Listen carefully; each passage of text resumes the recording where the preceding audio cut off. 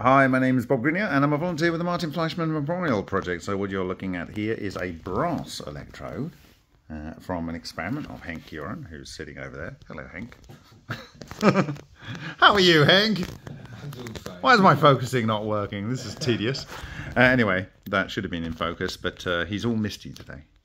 Uh, and you can see on here these spots where in the actual reactor you get these plasmoid like structures forming regularly spaced, but not so regularly that it just looks like a buckyball. Um, they have some logic of their own in which they self-organise. And then if we go up to the top of the chamber cap, you can see all of these spots uh, which we looked at